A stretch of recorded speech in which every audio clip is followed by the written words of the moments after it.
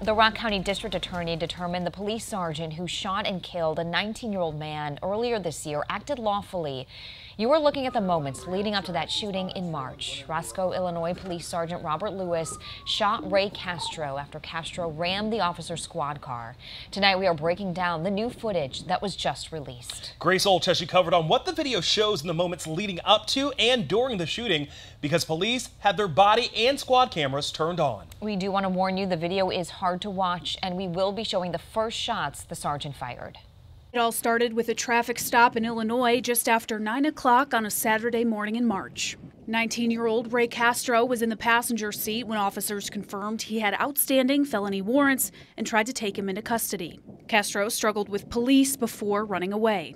He ended up at Mactown Lounge in South Beloit, where police say he held a maintenance man at gunpoint, carjacking him, putting Castro in this maroon SUV. The district attorney's records say Castro drove at high speeds into Beloit through numerous stop signs and red lights, nearly crashing into multiple vehicles. At the intersection of Central Avenue and Strong Avenue in Beloit, an officer hit Castro's stolen SUV on the back driver's side. Before Castro could accelerate again, Sergeant Lewis of the Roscoe, Illinois Police Department got out of his squad car and started shooting.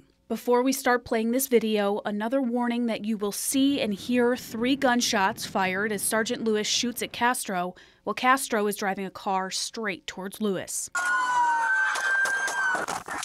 We're stopping the video there because the rest is too graphic for television, but we can't explain what the video shows. Castro's car is pinned right at the driver's door of Lewis's squad car, and you hear Lewis fire 12 more shots, take a beat, then fire three more into Castro's windshield.